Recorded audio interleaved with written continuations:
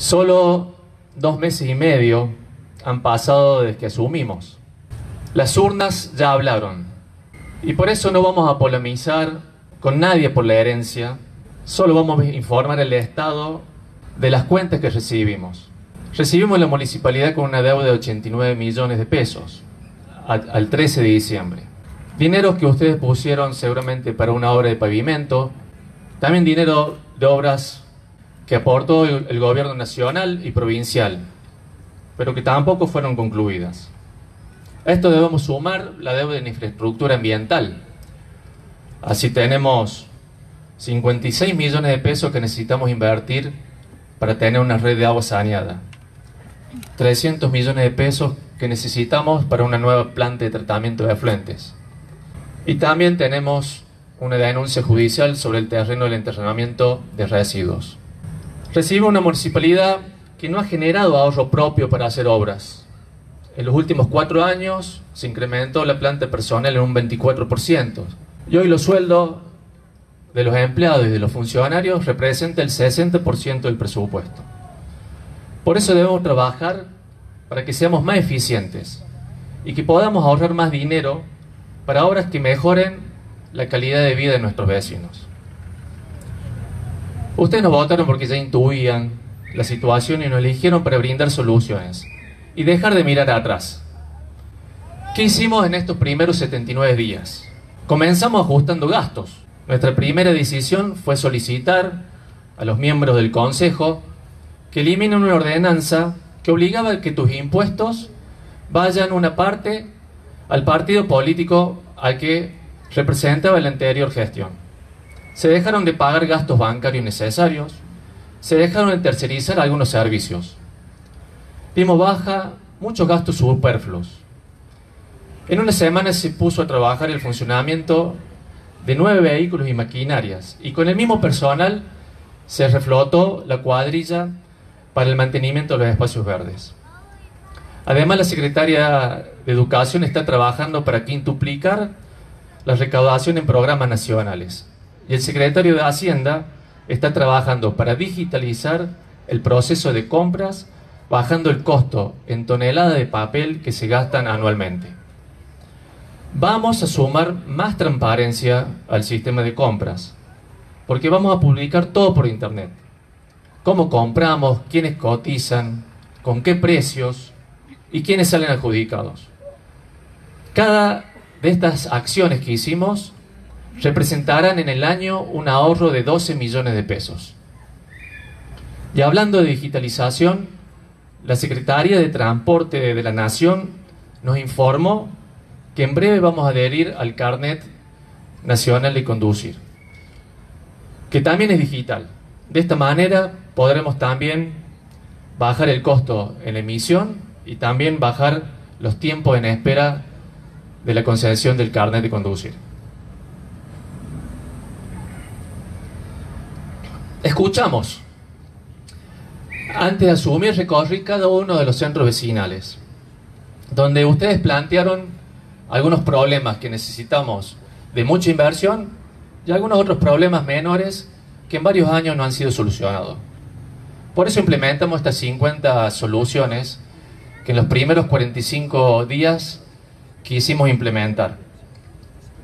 Algunas importantes, otras sencillas, pero esta será la forma de trabajar en los próximos cuatro años, escuchando, solucionando y sobre todas las cosas, hacer obras en toda la ciudad, en todos los barrios.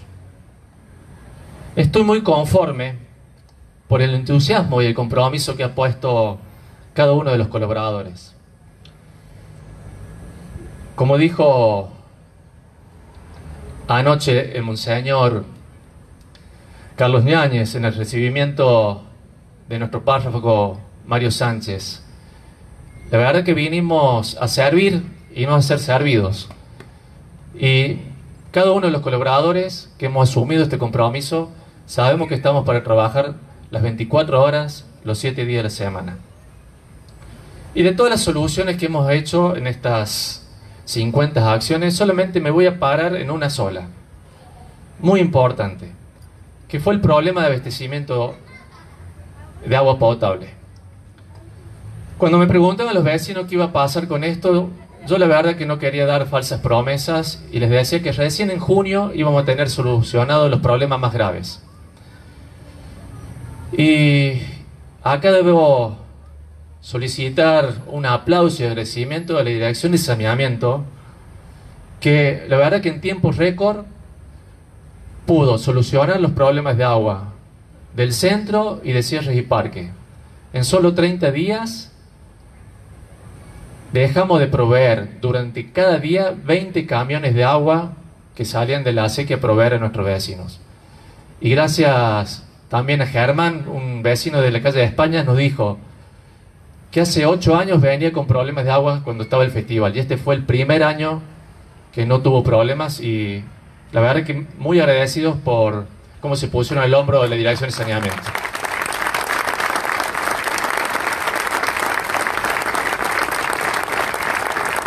También en tiempos récord, hace el viernes pasado fue presentado el plan de director de agua. La primera vez que tenemos un plan de director de agua que nos dice cómo debemos tener la red, a dónde están las fallas y, y bueno, nos planteó también la necesidad de invertir 56 millones de pesos. Debo agradecer a ustedes, a los vecinos, por el esfuerzo y el compromiso de comenzar a pagar los impuestos en febrero.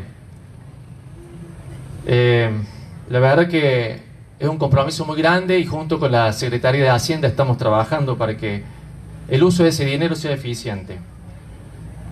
Y a mediados de año tener liquidez para poder comenzar con las obras que no hemos planteado en campaña. Quiero que sepa que también seremos duros con aquellos vecinos que no pagan pero que pueden pagar los impuestos y que a veces aprovechan o esperan moratorias. Por ello vamos a firmar un convenio con el Colegio de Abogados para la procuración de las deudas. Un convenio que tendrá tres objetivos. Brindando transparencia por sobre todas las cosas, generar trabajo para aquellos jóvenes abogados que recién se inician y por supuesto obtener más ingresos para la municipalidad. Queremos revalorizar la tarea del empleo municipal, lo hemos dicho en campaña y en el inicio cuando subimos. Quiero agradecer la verdad el compromiso, la predisposición y voluntad de los empleos municipales. Vengo cumpliendo con lo que prometí. El personal que trabaja sigue trabajando. Hubo algunos funcionarios de la anterior gestión que por su calidad técnica y humana también nos siguen acompañando. Quiero aclararle que en esta gestión no habrá partidismo ni conchavos. Acá se trabaja para el vecino, para ustedes. Y luego de años de falta de diálogo con el personal municipal y gracias al trabajo de la Secretaría de Gobierno y del gremio de los trabajadores, se logró el acuerdo con el sindicato de pasar a planta 41 personas que estaban con contrato administrativo ya hace más de 12 años. Además venimos con un diálogo permanente donde sin perder derechos y sin ceder obligaciones, evitamos llegar a conflictos que entorpezcan la administración municipal y sus servicios. Y les doy la muy buena noticia que mañana estaremos firmando un acta que fija las paritarias para el próximo semestre, logrando por primera vez en estos últimos cuatro años no poner en vilo ni al empleo municipal ni a los vecinos de nuestra ciudad.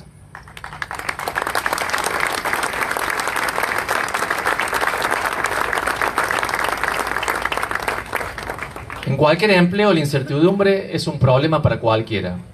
Y es por eso que estamos trabajando para lograr un sistema claro de contratación. A fin de año debe estar listo el sistema de concurso y carrera municipal, que permite premiar al empleado por sus capacidades y no por sus vínculos políticos con el gobierno de turno.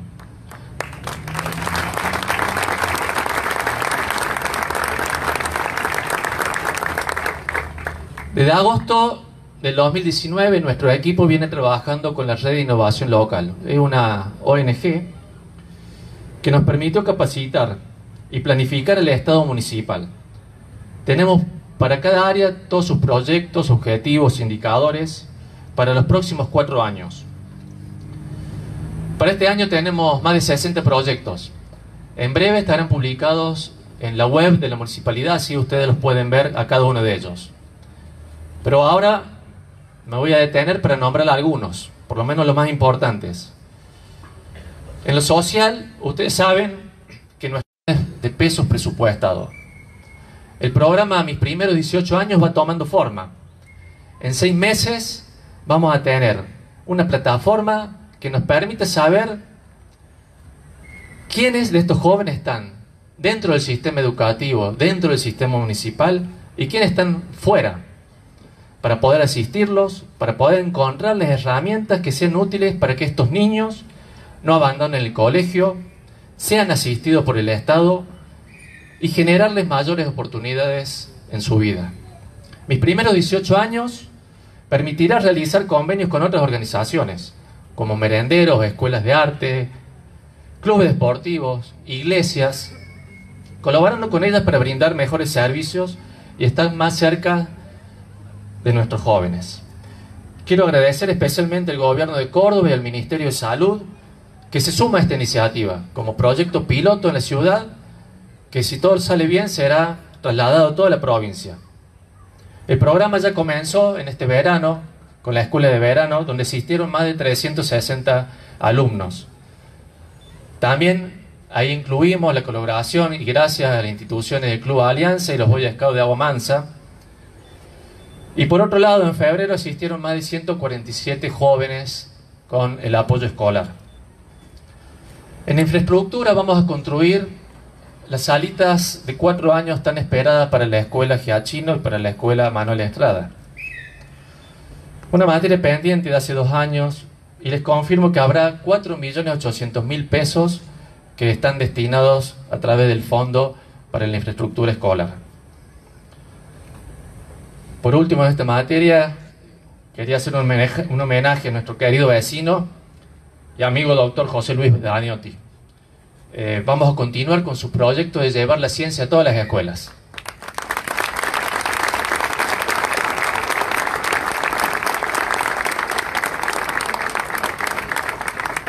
En salud se continúa con todos los programas que hoy son políticas de Estado. En el caso de los centros de salud hemos incrementado la asistencia interanual en más del 40%, pasando de 7.827 atenciones a casi 11.000 atenciones en el mes de enero. Además estamos reforzando la presencia en los barrios de los agentes comunitarios. Queremos que nuestro personal salga a la calle y recorra los barrios. La cultura y el arte serán una parte importante para resolver las problemáticas sociales que hoy nos aquejan y preocupan de sobremanera. El arte será una herramienta que pondremos en las manos de la comunidad para ocuparnos de la violencia comunitaria, la violencia familiar, el bullying, la discriminación, las adicciones. Así nace el programa Genera Arte, que trabaja con todos los equipos de la Secretaría de Educación y se implementará con talleres culturales en todos los barrios. Por otro lado, quiero agradecer a unos amigos, a Norberto, a Graciela, a mi amiga Mónica, fueron los primeros en acercarse y plantear el flagelo de las adicciones. Este año vamos a dar una lucha dura al consumo de alcohol y drogas. Declararemos el 2020 como el año de la prevención de las adicciones.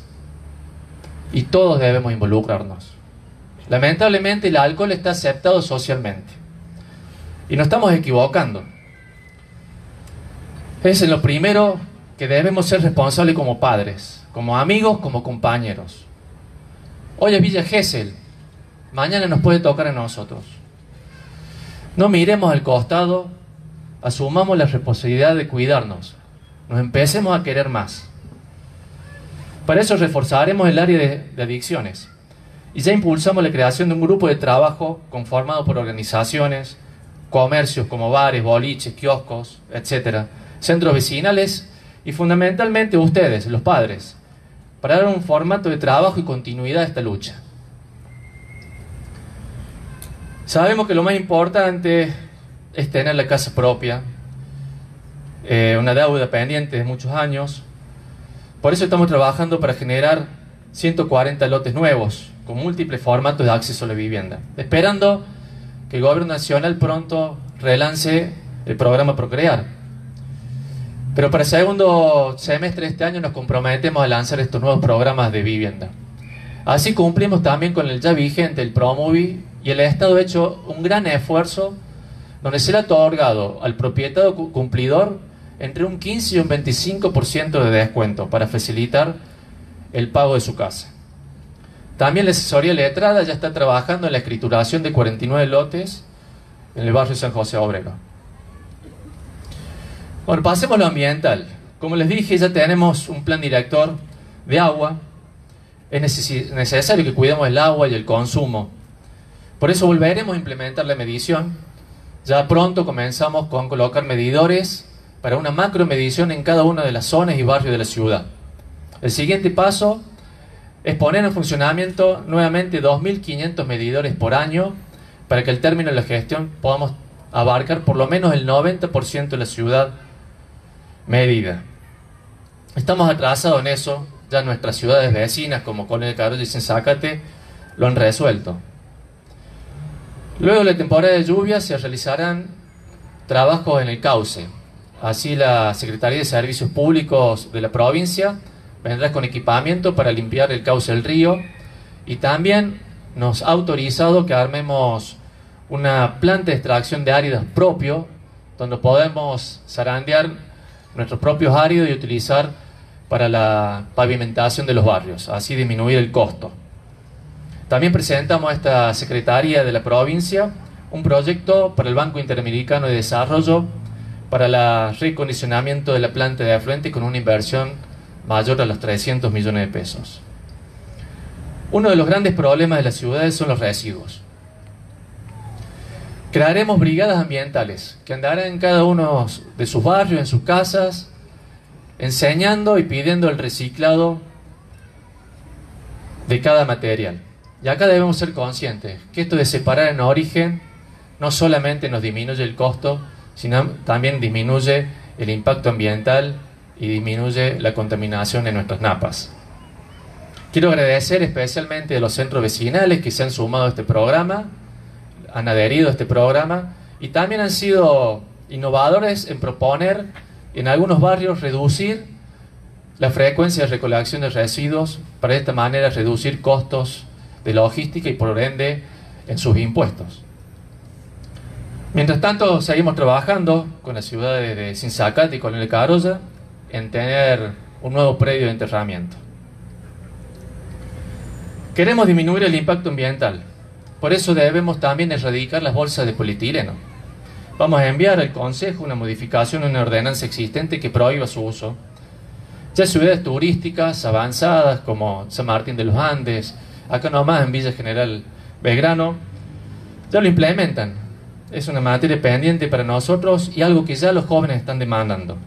Nos tenemos que acostumbrar a ir a la verdulería, a la panadería, al súper, con la bolsa de tela o el canasto.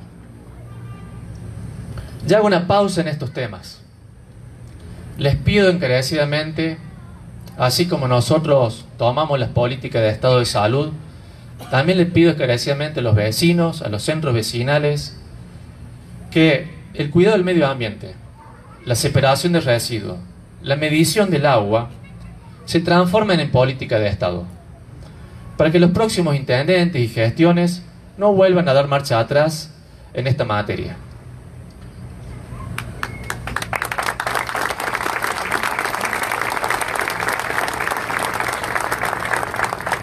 Sé que en lo social hay mucha demanda insatisfecha, mucha demanda laboral.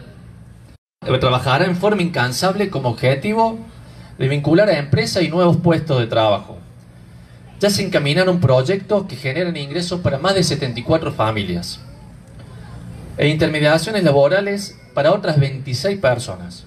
Entre lo más importante, esta semana comienza la búsqueda de 30 profesionales en software. Por primera vez hay una empresa interesada de Buenos Aires para instalarse en Jesús María y comenzar a hacer testeo de software, con una facturación mayor a los 23 millones de pesos.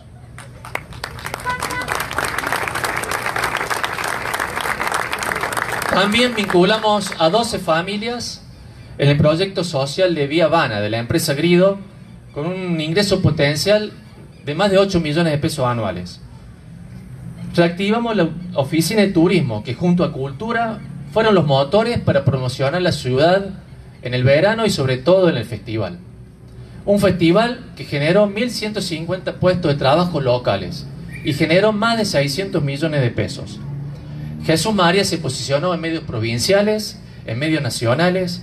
Pudimos relacionarnos con todo el norte de Córdoba, con Salta, con San Juan, con La Rioja y Santiago del Estero.